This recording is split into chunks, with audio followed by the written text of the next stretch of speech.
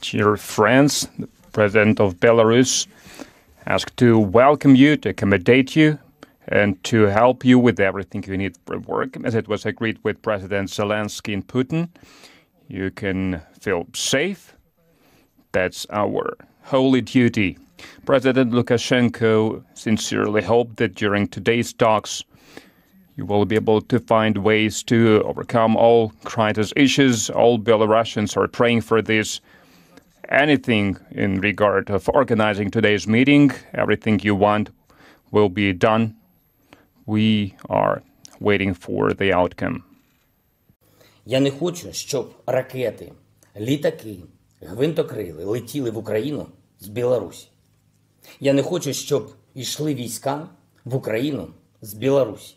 І він мене запевнив у цьому.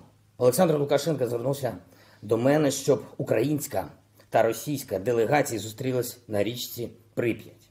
Підкреслю, без жодних умов. Скажу відверто, як завжди, я не дуже вірю в результат цієї зустрічі, але нехай спробують.